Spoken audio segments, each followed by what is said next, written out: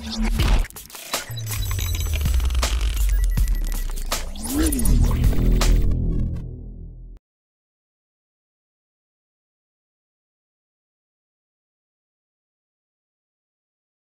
Friends sports பற்றின செய்திகளை உடனுக்குடனாக தெரிஞ்சுக்கொள்ள நம்ம தமிழ் கிரிக்கெட் சேனலை சப்ஸ்கிரைப் பண்ணுங்க.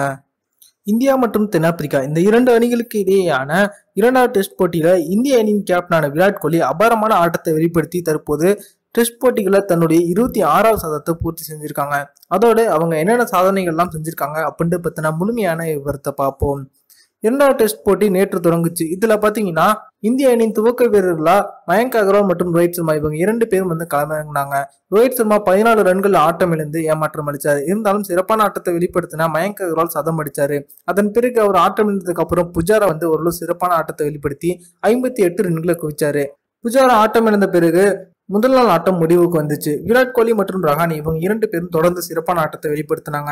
தற்போது பார்த்தீங்கன்னா இந்திய அணியின் கேப்டனான விராட் கோலி தன்னுடைய டெஸ்ட் போட்டிகளில் இருபத்தி ஆறாவது சதத்தை பூர்த்தி செஞ்சிருக்காரு.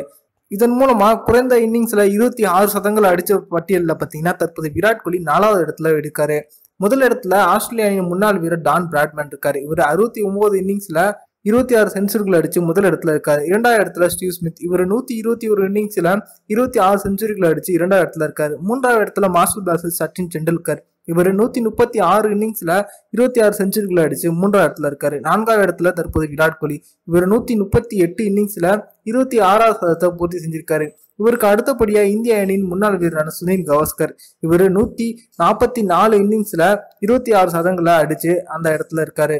இந்த இரண்டாயிரத்தி பத்தொன்பதாம் ஆண்டுல பாத்தீங்கன்னா டெஸ்ட் போட்டியில விராட் கோலியோட முதல் சதம் இதுதான். அதே போல இந்திய அணியின் சொந்த மண்ணிலேயே தென்னாப்பிரிக்கா அணிக்கு எதிராக விராட் கோலி அடிக்கும் முதல் சதம் இதுதான்.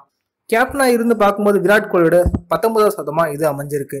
தற்போது சதம் எடுத்து விராட் கோலி தொடர்ந்து ஆடி வந்துட்டு இருக்காரு அஜிங்கே ரஹானே ஐம்பத்தி ஒன்பது ரன்கள் ஆட்டம் இருந்துட்டாங்க தற்போது ஜடேஜா மற்றும் விராட் கோலி இவங்க இரண்டு பேரும் தொடர்ந்து விளையாடி வந்துட்டு இருக்காங்க இந்திய அணி நான்கு விக்கெட் இழப்பிற்கு முன்னூத்தி எண்பத்தி ஓரு ரன்கள் இருக்காங்க அப்படிங்கிறது குறிப்பிடத்தக்கது. இந்த வீடியோ உங்களுக்கு பிடிச்சிருந்துச்சுன்னா லைக் பண்ணுங்க ஷேர் பண்ணுங்க. நன்றி.